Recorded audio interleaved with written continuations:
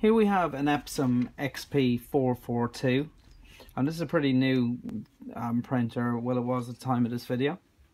And what we're going to show you to do is a nozzle check. So if you're not quite happy with how your printer is printing, if perhaps your one of the colors isn't 100% or if you're printing photographs and you're not sure why um, in particular is printing badly, what you can do is you can run a nozzle check. So what you would do is you'd just press the home button and go across to setup, press OK. Then you go down to maintenance and the first one there as you see is nozzle check, just say OK. Um, and it's asking us to load paper to print, so we have paper in. And then it's asking us to print this, press this little button.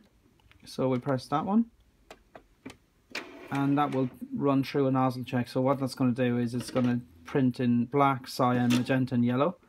So it's going to give us an idea which, if any, is the problem. That's just going to take a second. Just priming itself. Printers can take a while to kick into action. So that should be done.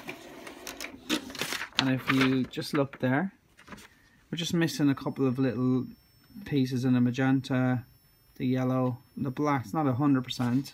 So what we would do then is we would go. It's saying, um, "Are we done?" We're not done, so we we want to go down to head cleaning. So you go down, head cleaning. You press OK and start cleaning.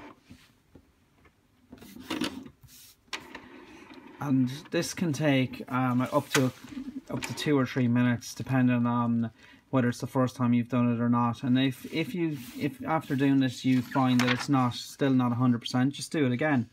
And thank you very much